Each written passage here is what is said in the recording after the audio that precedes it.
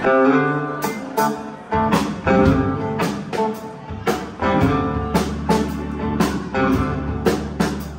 my landlord ring, my front door hit, let it ring for a long, long I went to the window, peeped through the blind, asked him to tell me what was on it.